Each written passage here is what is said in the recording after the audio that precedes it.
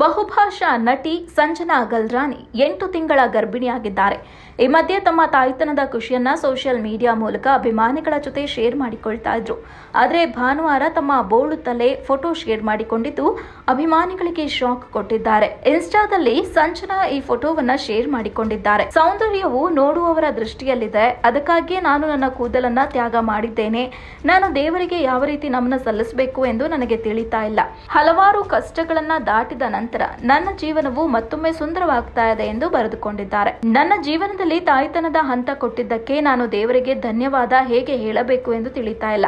ನನ್ನ ಮಗು ನನ್ನ ಜೀವನದಲ್ಲಿ ಶೀಘ್ರದಲ್ಲಿ ಬರಲಿ ಎಂದು ನಾನು ನನ್ನ ಕೃತಜ್ಞತೆಯನ್ನ ಈ ರೀತಿ ವ್ಯಕ್ತಪಡಿಸಲು ಬಯಸ್ತೇನೆ. ಜೈ ಶ್ರೀಕೃಷ್ಣ, ಅಹಂ ಬ್ರಹ್ಮಾಷ್ಟಮಿ ಎಂದು ತಮ್ಮ ಫೋಟೋವನ್ನ ಶೇರ್ ಮಾಡಿಕೊಂಡಿದ್ದಾರೆ.